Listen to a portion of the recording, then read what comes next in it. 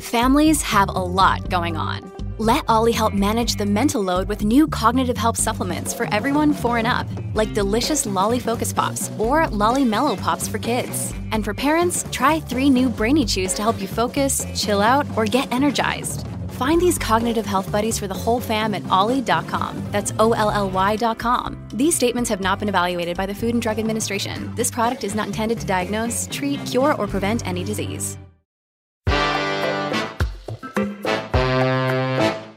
Today on CityCast Madison. 25 Madison area leaders signed their name to a letter calling for a Madison council member to resign.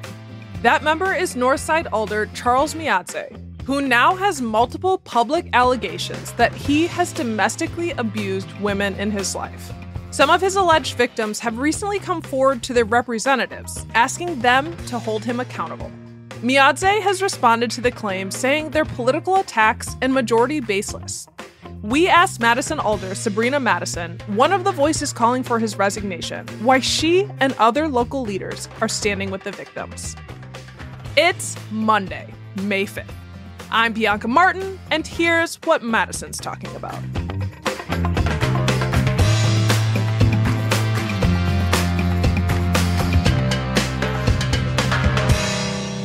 Alder Madison, hello. Thank you so much for joining us. Thank you for having me. Yes. So we've got a pretty heavy topic to talk about, um, but very important. I want to jump right in. What are the allegations against Alder Myadze? From what I understand, um, two of his previous partners have accused him of domestic violence, and a third person where it's you know the the claims have um, been covered in local media has accused him of sexual harassment. And when did you first hear about these allegations? That's a little tricky in the respect that with domestic violence, folks are often sharing their personal experiences with someone. They just could be at a place where they're not necessarily uh, ready to share those experiences publicly. And so I will say I've not heard previously from the two partners who came out publicly, but they're, you know, I've heard, you know, I'll just say that myself, along with several others in the community, have heard some of these claims over the years. I think it's just more recent. Again, how domestic violence works. It's a journey. It's a path. Not everybody will ever tell everything that, that they've experienced, but we heard about it sort of in real mm-hmm. time with the, when the public was hearing about it from Michelle McCoy's Facebook post. So when the public was hearing about it, we were hearing about it at the same time. Right. That was the official, but it was, yep. sounds like it, you know, stories were circulating, but it took that moment and people came forward. What have we heard from Alder Myadze himself about this?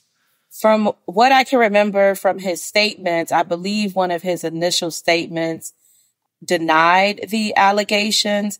I believe one of his statements then sort of alluded to past allegations and maybe I believe he, you know, took some sort of program where he can have his record expunged. Mm-hmm. And then that, at least thus far, I've heard kind of like those dueling statements from him.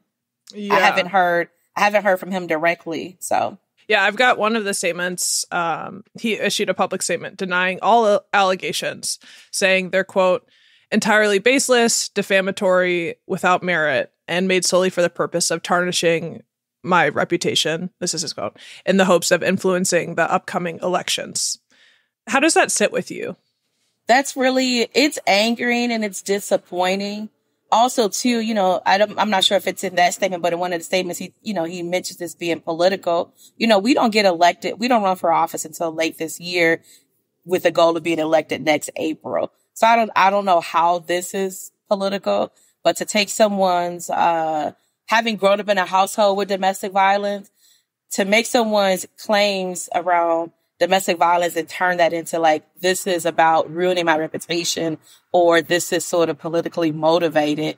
For me, it feeds back into this patriarchy that we live in where what you have done to someone, it can't just be about that. You know what I mean? Like it just can't be about the violence. coming from someone. It has it has to be another reason. Um, I should share this um, too. There's a quote from his lawyer who said, "quote over 20 years ago, Mr. Myadze was charged with domestic violence during a contentious divorce and custody battle. To resolve this matter, he entered a deferred prosecution agreement with the Dane County District Attorney's Office, is just what you talked about, which required him to enter a guilty plea to one criminal court. Mr. Myadze successfully completed the agreement and all charges were dismissed. Um, but it, he's kind of anchoring this on 20 years ago, saying this matter is old and it's been addressed. Time to move on. W- what do you think about that? For one, I'm thankful that county leaders, especially from the Dane County Board and other leaders across the city, uh, stepped up to say, we have been hearing these allegations. These are not just 20 year old allegations. Yes, the two folks who have come forward are somewhere between 12 and 20 or so years ago. But folks too know that these claims are not just 12 or 20 years ago. Those are just what's public. And I, you know, I'm not, again, the, the way that domestic violence works, if we hang our hats on being able to sort of like always have to see like the bruises or see a police report. And if that is the only way that we're going to deal with resolving domestic violence in our community, that also will mean that we will never rid ourselves of domestic violence.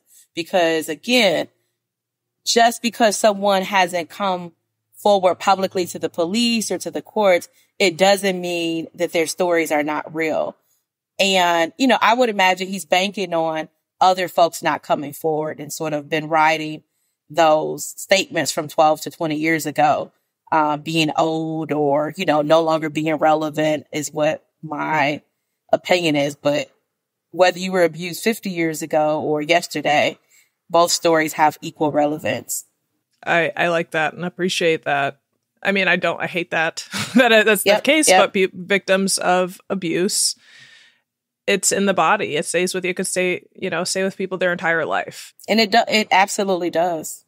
Yeah. And to your note that they're talking about largely these two cases. But another woman has come forward on Facebook and said that she's been personally sexually harassed by Alder Charles Myadze. Um, and that's this year. And, you know, there are community leaders that are coming behind uh, this, not just on the city, local Madison City Council, but also the Dane County Board. 25 leaders are saying that we stand in solidarity with survivors of intimate partner violence. And I think it's just that eh, no one's claiming to be judge, jury, and executioner, but there's so much to domestic violence that most people who experience it don't come forward. Yeah, they don't. And so I'll be honest with you, most will never come forward. A great, a good number of folks who've been, who've dealt with the domestic violence will not come forward. Oftentimes folks feel a level of shame. They feel powerless. They may be people who are very well known in our community whose personal status they may feel like it may be diminished, for example, if they come forward with some of this. You know, have again, growing up in a household, I don't know that my mother's ever talked about, for example, abuse publicly. You know, it's mostly been an internal friends, family conversation. And I know other women who, for example, we supported the Progress Center where sometimes we are helping people who have, they're very well known in our community, or maybe they have a, a their job profile puts them in a space where they don't want their clients to know that they too are being abused. So it's really difficult. It's a really, it's really difficult. And to say to survivors of domestic violence and victims who are currently experiencing it that the way that we believe you is only through the courts and through some sort of like, I don't know, photos of a black eye, for example, that gets away from us being able to really get rid of this. And not just for Alder Myadze, but any other man who is serving in a high profile position where, you know, they're, they're very well known across the public. What we are saying to those victims of these men's violence is that we will not believe you unless you take it to the courts or we see some sort of black eye, for example. And that is not the messaging that we want to share with victims at all.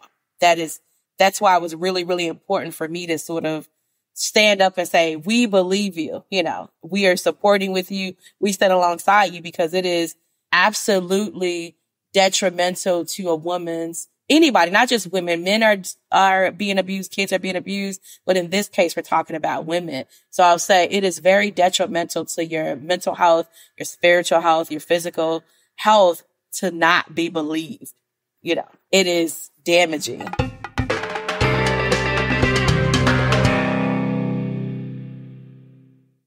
I saw that there was a claim that Myadze actually went to one of the victims and offered money for them not to come forward. You know, hey, this might come up, don't come forward. And they did not accept that money.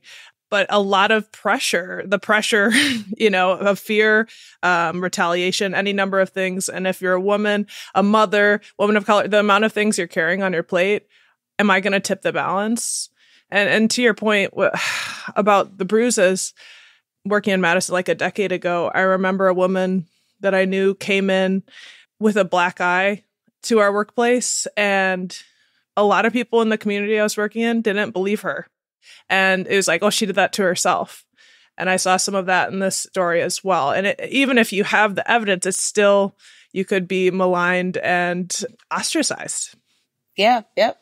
I remember getting a call from a local woman in this community where myself and the consultant that we work with both are sort of pulling over on the side of the road to sort of like navigate 30, 30 or 40 different phone calls and emails to quickly try to get this woman out of a situation and into some support, you know, and folks don't understand how hard it is to talk about your own abuse, to be abused, and then walk around in a community where folks question whether or not you've been abused or if you're sort of talking about your abuse for political motivations, you know.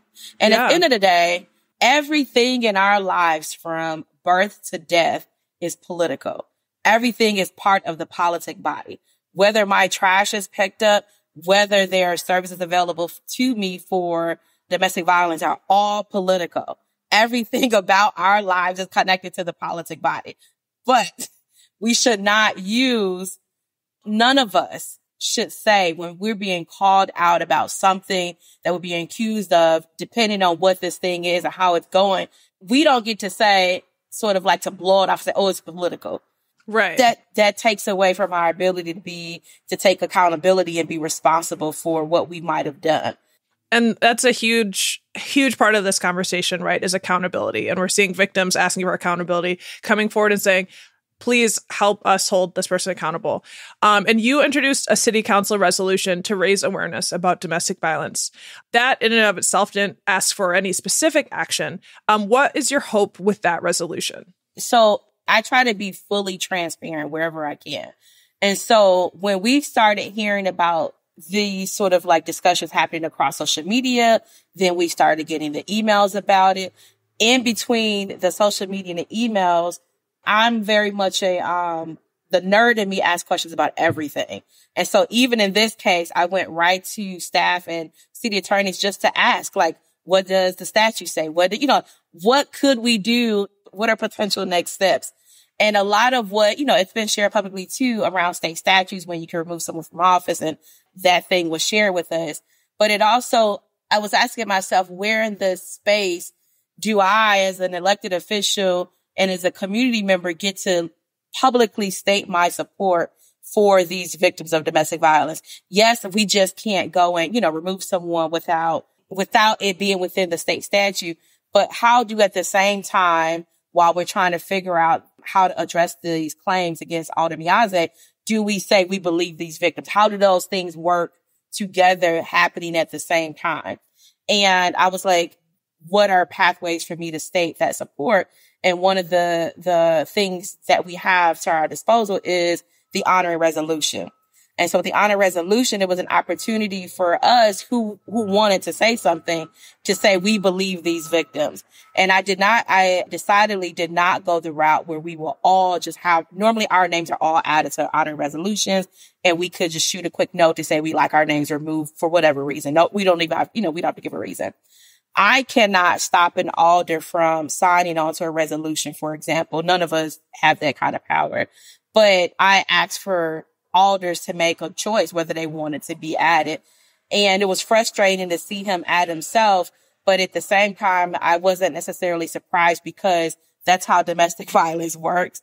Oftentimes abusers don't hold themselves accountable nor responsible and do these sort of like, they take these various different ways to show and flex that they still have some level of power over the folks that they might be abusing. But even so, I wanted us to provide an opportunity to these women, to other victims to say, we support you, believe you, we stand in solidarity with you. And I also wanted to create a space for alders to be educated because too, not all of us have a, for example, experience working with victims of domestic violence. And so it also provides the opportunity to invite speakers from local um, agencies in to sh- not only share the facts around domestic violence, but provide some level of education to say, this is sort of like what's happening in our community. These are the sort of ways that people can get help. And this is what we really want from you in this case. So at minimum, I want survivors to feel supported. I wanted us to get information that we can use in making decisions about how we go about dealing with this matter concerning Alder Myadze. Yeah, and to touch on something that you noted, Wisconsin law says that city alders can only be removed by the council when there's cause and misconduct while they're in office. So you're talking about some of the constraints here and what's possible in terms of holding Myadze accountable. I want to know have you did you have the chance to speak with him at all? Have you talked to him?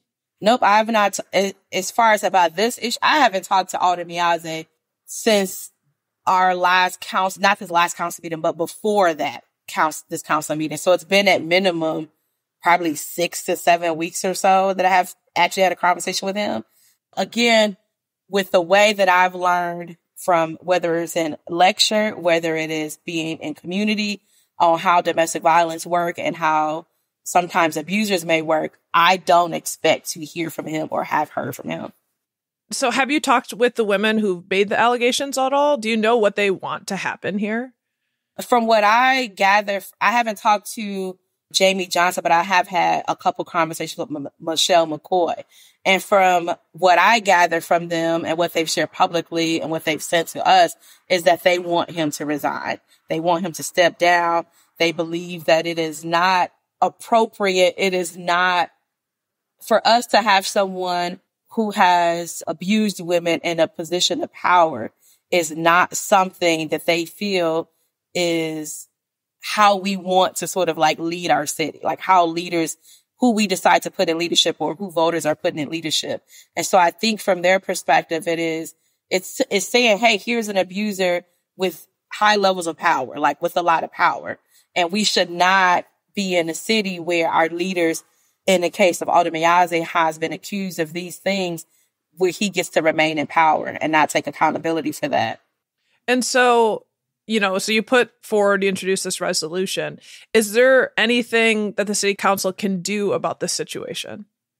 One thing I want to make sure I, I share is that at least I know for myself, I'm still figuring out what are potential next steps. How do those next steps happen? Those sort of things. I can't speak for 19 other or 18 other audits. I'm not sure what their, what their intentions are.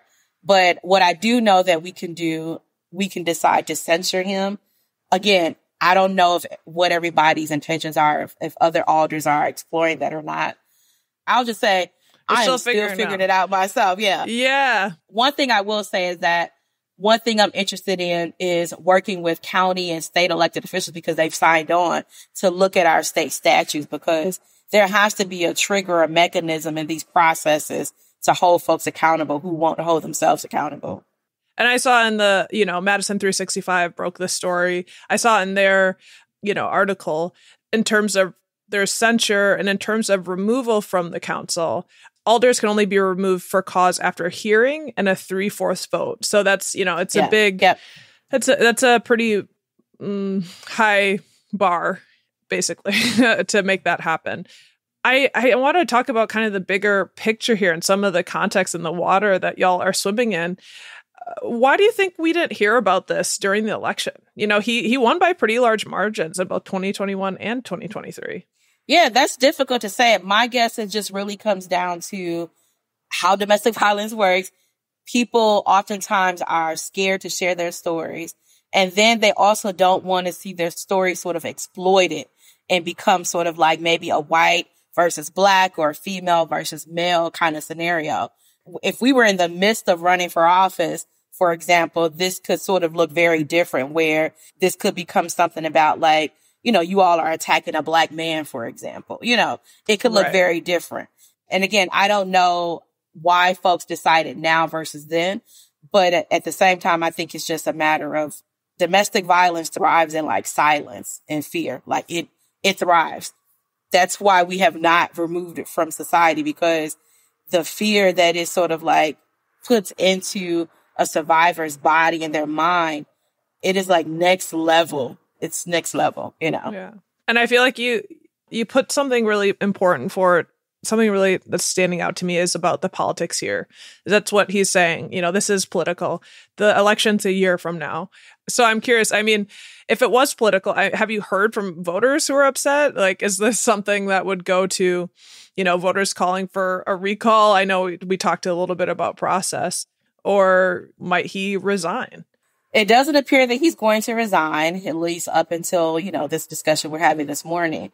But there has been some conversations that are happening across social media. I will say we've gotten some emails where, and I, I can't always say if these are his uh, constituents or not, but where folks don't want to have him in office. And then I've seen some conversations happening across social media around starting a recall election. I don't know if that's gotten any movement. I'm not sure what, what folks are going to do next, but I think right now it's what I feel is has happened is that the folks who have shared their stories publicly, they are now looking to us to do something. That's what I am gathering. They wanted elected officials, not just us on our body, but other elected officials to do something, to speak out. And as such as with the 25 leaders um, who put out that statement recently, that's part of too what they have wanted, that what they're asking for. And so I can't, my hope is that, you know, he would look at this as more so, cause I just, I just think about like, imagine had he took a responsibility and accountability from jump. You know, what that might have looked like. Like the, the, the thing where he mentioned safe harbor, then safe harbor with, within like a day or, or I don't know, maybe later that day came out with a statement saying that this was not tr- this was not valid, you know? Yeah, he tried to say that he, hey, I've been a supporter of domestic abuse victims. Yeah. And yeah, that's what you're talking about. Yeah. And that is, I'm like, that, now that is political. right. to say that you are doing something you are not in order to save yourself or protect yourself. That's a strong argument for making something political. What do you think should happen now? I think Alder Myadze, and I've said this, I'm not saying anything new. I do think he should step down. I think that he has some internal work that he needs to do for himself because at the end of the day, I still like, for example, former supervisor Dana Pellebon mentioned restorative justice. I think it would be smart for him to sit down with someone. I'm, you know, that's not my lane. I don't work for a domestic violence agency, but I think he should sit down with folks who their work is restorative justice. That's, that's their like from top to bottom. They are experts in restorative justice. And I think he should take the time to do the internal work and sit down with restorative justice experts to figure out what might restorative justice looks like in this case. And again, I don't know if he's doing that or not, but if he is, those are things that we would want to know, you know. But I think at the end of the day, I want to stay true to what these women have asked.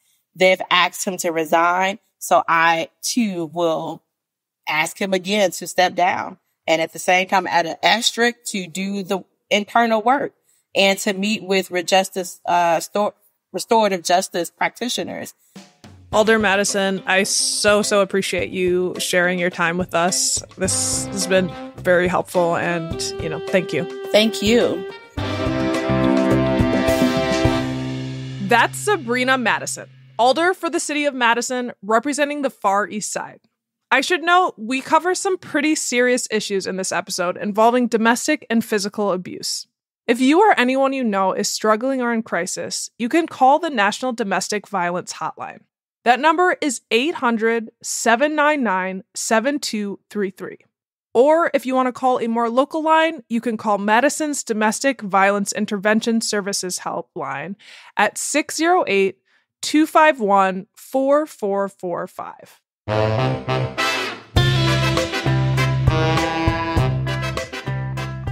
That's all for today here on CityCast Madison. I'm Bianca Martin. If you enjoyed the show, why not share this episode with a person in your life who really holds themselves accountable for their actions? We'll be back tomorrow morning with more stories from around the city. Until then, take good care.